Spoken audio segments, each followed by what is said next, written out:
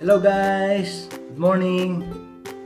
Uh, I love you muna sa lahat ng mga nag-view ng aking YouTube channel. Pero uh, request ko naman sa inyo mag-like and subscribe kayo. Uh, this morning, breakfast, nabili ako ng uh, tamis. Itong tamis na to, kahit tatlong tao, mabubusok sa sobrang uh, laki. Kaya ang ginagawa ko rito, uh, isinasawsaw ko sa adas. Yan, sarap nito.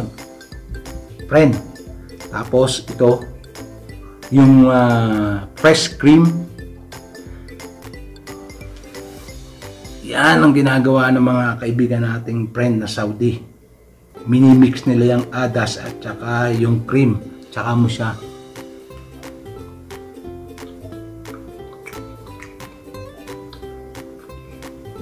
Ben, ang sarap. The best.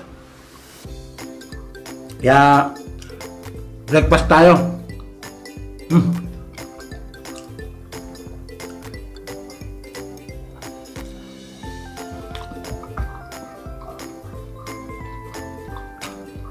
Hmm.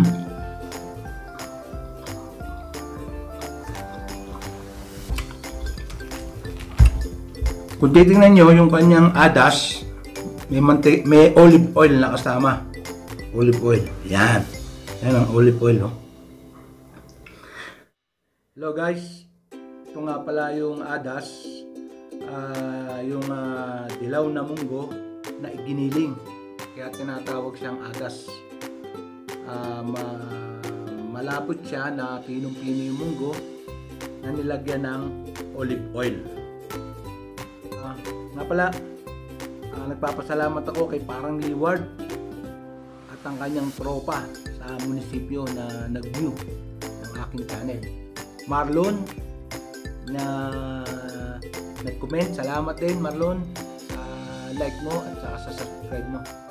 At sa lahat ng mga nanonood ng aking uh, YouTube channel, lang mag-like po kayo at uh, mag-subscribe kasi I love you.